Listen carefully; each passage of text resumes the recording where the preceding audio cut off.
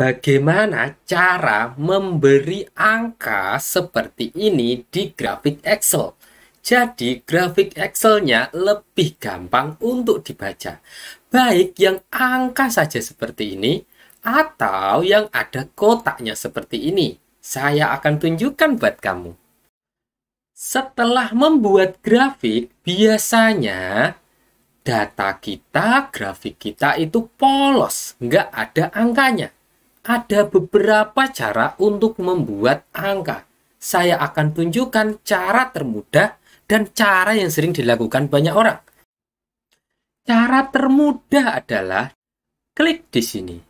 Nah, klik di salah satu batang atau salah satu grafik teman-teman terpilih semuanya ya terpilih semuanya ini kepilih ini kepilih ada bulat-bulatnya lalu klik kanan di salah satu add data label nah otomatis data label ini sudah muncul nih 384233 nah biasanya ini kurang jelas lalu kita klik lagi kita klik format kita pilih salah satu kotak ini ini karena biru saya pilih biru.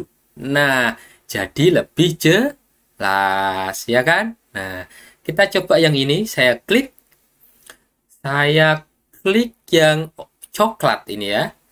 Lalu saya klik kanan di salah satu. Saya add data label.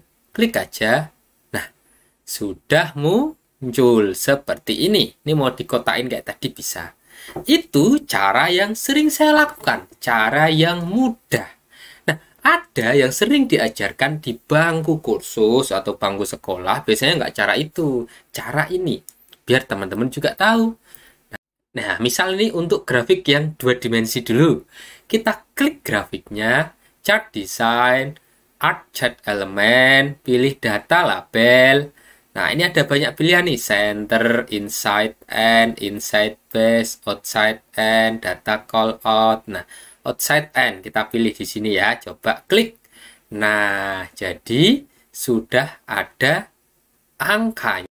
Itu adalah cara lain selain pakai klik kanan begini tadi, ya kan? Nah, teman-teman, angka ini juga bisa digedein loh. Klik aja sih salah satu angka, lalu klik home.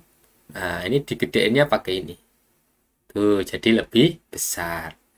Nah, itu ya cara memasukkan angka ke dalam grafik Excel atau cara memasukkan data di grafik Excel.